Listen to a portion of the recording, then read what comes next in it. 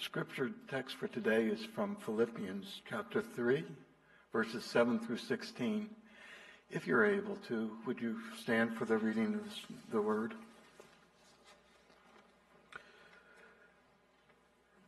Philippians 3, starting with verse 7. But what things were gained to me, these I have counted loss for Christ. Yet indeed I also count all things loss for the excellence of the knowledge of Christ Jesus my Lord, for whom I have suffered the loss of all things, and count them as rubbish, that I may gain Christ and be found in him, not having my own righteousness, which is from the law, but that which is through faith in Christ, the righteousness which is from God by faith, that I may know him and the power of his resurrection and the fellowship of his sufferings, being conformed to his death, if by any means I may attain to the resurrection from the dead. Not that I have already attained or am already perfected but I press on that I may load, lay hold of that for which Christ Jesus has also laid hold of me. Brethren, I do not count myself to have apprehended, but one thing I do. Forgetting those things which are behind and reaching forward to those things which are ahead, I press toward the goal for the prize of the upward call of God in Christ Jesus. Therefore, let us, as many as are mature, have this mind. And if anything, if anything you think otherwise, God will reveal even this to you. Nevertheless, to the degree that we have already attained, let us walk by the same rule. Let us be of the same mind. You may be seated. Well, may the blessing of God be upon you as you give this God's word.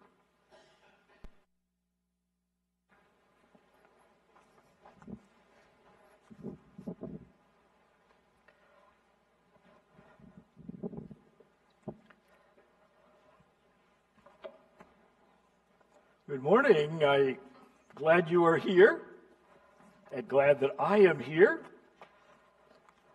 and glad that Lee and I have drank the same Kool Aid this morning. Or maybe I should rather say, in a church sense, we have drunk from the same chalice. I want to, I love the, the songs that the worship team sang this morning, but I also want to recognize particularly the song, Jesus, Be My Center. Because that is the cry, I believe, of our hearts. There are so many things that I have to share with you this morning. You can see the title of our message.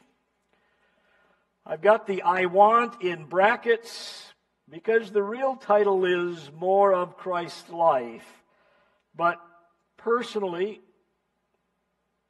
each of us must want that as believers before all of us can have that together. So, uh, as we go through this morning, I, I recognize there are a lot of interesting things going on in our hearts and our minds, and so I just want to kind of capstone maybe several of them in the midst of all of this. I want to start out this morning by sharing with you a story, which I always like to do. And it, it seems as though there was a group of people who were touring an ice cream factory. This was not a small factory. In fact, every time they made a certain kind of ice cream, and of course, most of you know that mine always has to have nuts in it, preferably pecans or walnuts, because I love butter pecan ice cream and I love maple walnut ice cream. Preferably black walnut or black, black, uh, yeah, walnut ice cream. Anyway, they were touring this factory, and this one little guy got himself kind of lost in the factory, and he was away from the whole group, and and he was on one of the scaffolds over one of these huge vats of ice cream, and he he recognized it was his favorite kind. And as he was looking at it, as it's kind of gelling or cooling down, he slipped and fell into the vat of ice cream. And he looked towards heaven and he said, Lord, I've only got I've only got two things to pray for right now. He said, First, give me a spoon. And second, I pray that my stomach is up to the occasion. I have often found myself in a particular type of prophetic ministry. And that prophetic ministry is challenge. And I've also recognized that many times the type of challenge that I am involved in in congregational life is not just individual, but it's actually corporate challenge. Think of how many sermons you have heard in the last number of years that the particular focus was simply on the congregation as a whole versus individual challenges that are often coming out of Scripture in that format. So, with that in mind, I am just going to move into our sermon time this morning. I would believe that it is the normal desire of every growing Christian to have more of Christ's life. Perhaps it would be good, a good time to ask as well is it even possible for a Christian to continue to receive more of Christ's life even into the fuller stages of spiritual maturity? And then I think of this question Does the situation in which a Christian receives more of Christ's life always occur the way you had hoped. Think about that. Eliza M. Hickok, in a poem that I don't know how I learned it, but I did, says this. I guess so. She says this I know not by what methods rare, but this I know God answers prayer. I know not if the blessing sought will come in just the guise I thought. So I'll leave my prayer to Him alone, whose will is wiser than my own. Now I, I put this those words on a slide, and behind the words, can you see what's there?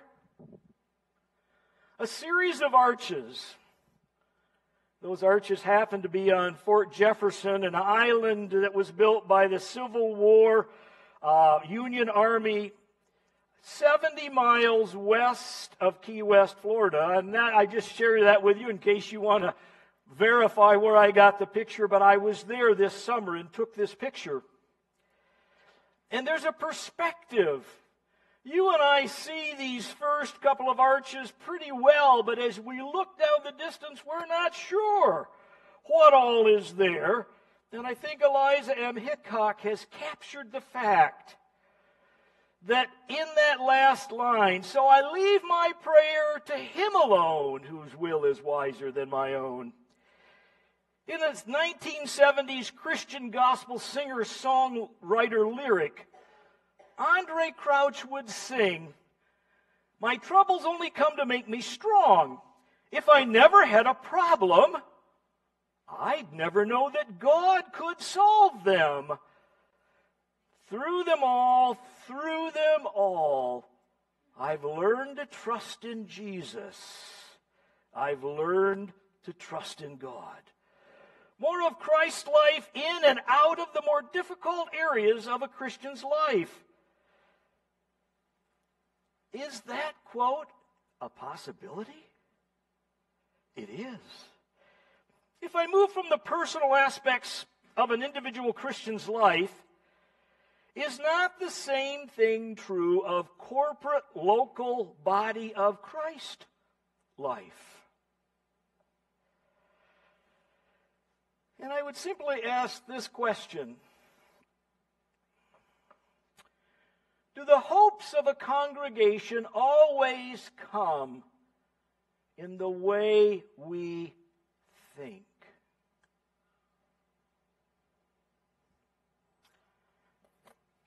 As I turn to our text, the context of our text is found in verses 1 to 6, which I chose not to read, but I want to summarize, where the Apostle Paul uh, states his Jewish pedigree,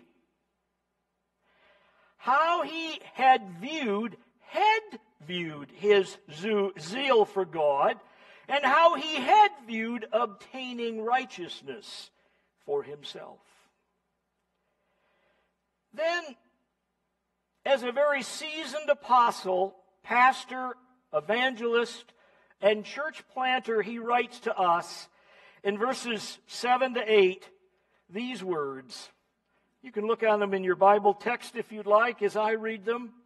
He says, But whatever things were gained to me, those things I have counted as loss for the sake of Christ. Moreover, Then, moreover than that, I count all things to be lost in view of the surpassing value of knowing Christ Jesus my Lord. And he goes on, whom I suffered the loss of all things and count them but rubbish in order that I may, may that I may gain Christ. What a thought. He recognizes his Jewish pedigree. He recognizes how he had viewed before coming to Christ his zeal for Christ. Or maybe we could even say he, as he was growing, he realized the more important virtues of how zeal is expressed. And he also gave up, in a sense, how he viewed obtaining righteousness for himself. And then verses 10 and 11 he goes on and he says, That I may know him and the power of his resurrection and the fellowship of his sufferings, being conformed to his death. And being conformed to his death is that he gave it all up for Christ, like Christ gave it all up for us. So that he could know Christ better. It's interesting that I may know him is a conditional phrase based on viewing all things in one's life as less important in value compared to receiving more of Christ. Among other things, his Jewish pedigree, how he had viewed zeal for God, and how he had viewed obtaining righteousness all of those, among other things, were less important, far less important to him now than seeking the fullness of Christ. As I thought about ourselves as a congregation, I wondered how that might look for us. And I ask myself, and I will ask you, the congregation. How much of our work, as listed in the 16th Sunday School Dialogue session last month, figure into what may be in Paul's thinking things that we may need to give up in order to have more of Christ's life in our congregational life? As it relates to merging or blending with another congregation for wanting more of Christ's life through and into the blending process is very, very important work. You have a handout that I gave to you, and I'll, I don't have it on the screen, but you have a handout in your. Uh, and I, I just want to, for the moment, look at some of those things with you. If I can get my phone to switch the way I hoped it would. Okay. There we go. I would like you to look down on the first page to a, a darkened area that says our work. And it says this as we now have congregational direction, and our focus will be to for, uh, uh, congregational direction of, of merging with another congregation, that possibility. Uh, our focus is to first list and think through what uh, are the emotional, uh, what an emotionally mature, spiritually successful merger with another congregation would look like. And there are broad, there's a number of things in a broad category, and they include these hands off versus hands on control. How does ours, that is, Boyertown Mennonite churches, and theirs, other congregation, become jointly shared and owned? What are the healthy ways to blend two families, house, two households? Financial issues, merging of our reserves. Four, the use and maintenance of cemetery and other property issues areas. Five, what are minor versus major theological issues in merging two possibly different theological, historical theological groups into a new group unity? And what are personal preferences versus not tolerable ones. What might we see as emotionally healthy principles to challenge each of us in the merging process? Seven, what are we feeling as we embark upon a very unique yet challenging time and possibility? Eight, why is the concept of merging easier to receive than the practice of its implementation. How do our feelings and the ideas of our space contribute to the challenge? Number nine, bringing together the merging of organizational structures, ministry focused activities, outside benevolences, that is, persons and organizations which we financially support beyond our own ministry building, and property, financial needs. How do those all figure into this kind of a thing? And I would just mention them under this guise of what is Christ saying to us about what we need to give up so that we can have the, a greater fullness of Jesus both in personal life and in corporate congregational life.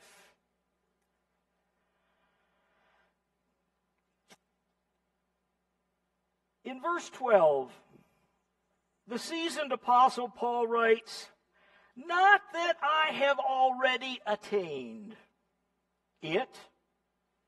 And I would ask, is he saying, is he, is he not saying that there is more to come in his seasoned life, and that when we think we are giving something up, it is then at that point that room is created for the more of Christ's life.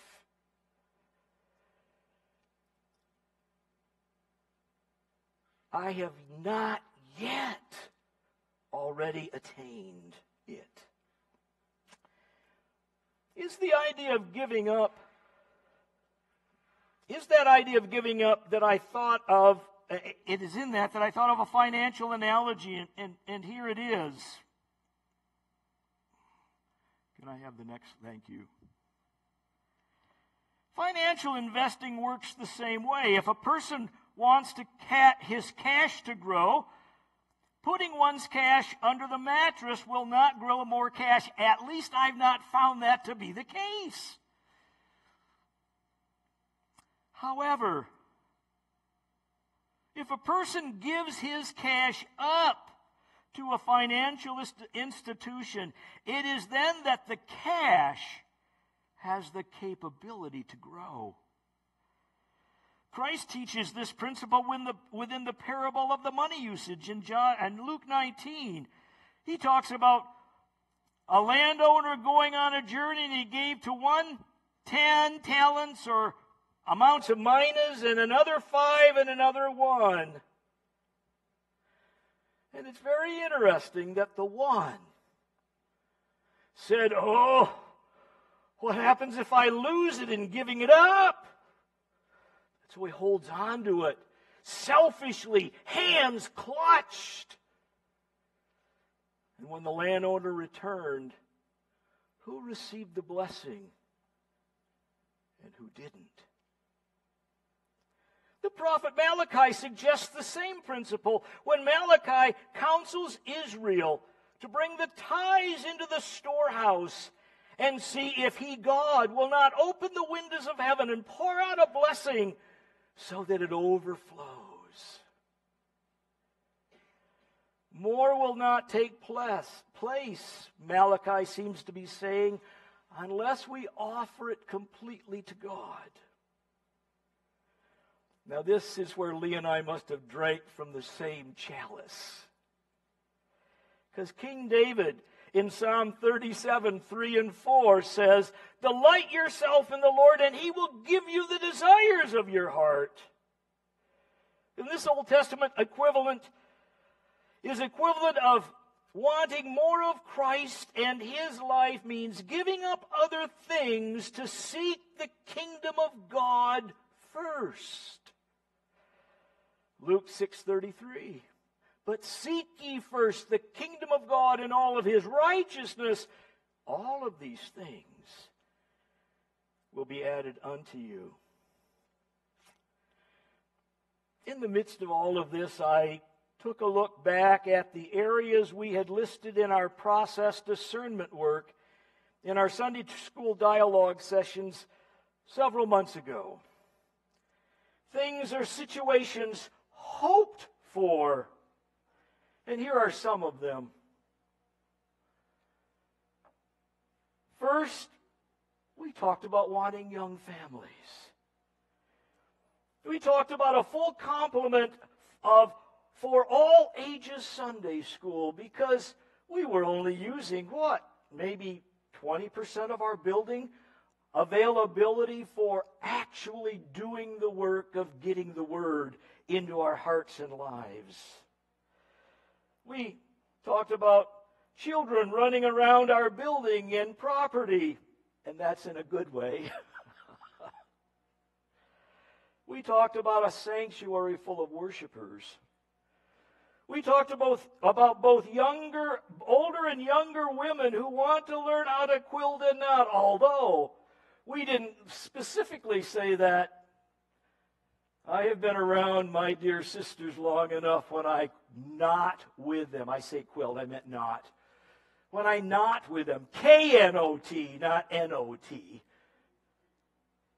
that they would love to teach this wonderful craft to others. A place where our historic spiritual labors may be used in a greater way for Christ and his kingdom. A more complete way towards reaching the unsaved in the Boyertown area. A full time pastor. A numerically growing in size congregation. As I looked over all of those things, I asked our Lord this question Lord, is this what you have purposed for us as we as a congregation in our discernment to join together with an emerging congregation? Is that what you want for us? As we count all things as loss, those things to which we have become so accustomed as a smaller, maturing in age congregation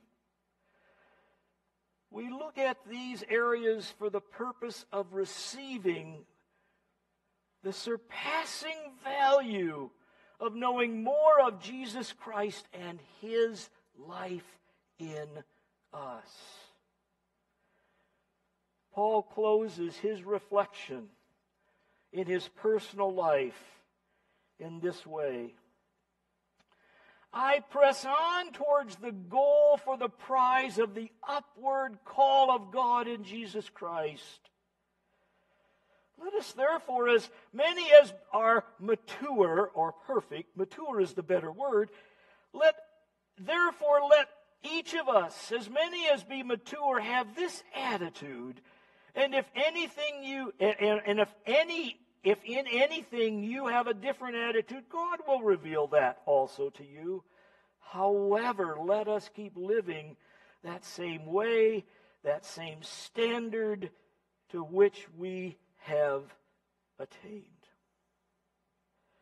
And I think of that psalm in closing, and I don't have its reference, where David simply says, Taste and see that the Lord is good. Would you bow with me for prayer? Heavenly Father, for the goodness of your love and grace, I give you thanks. Ah, yes, Lord, there are many things that are a part of wanting to obtain a fuller measure of your life in our lives and in our congregation. I simply ask, Lord, that you would just help us as we ponder what and how are the best ways to do that to the enlargement of the kingdom of Christ in the Boyertown area.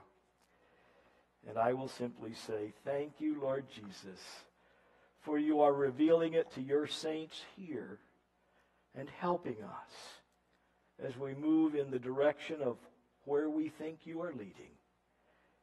In Jesus' name, amen.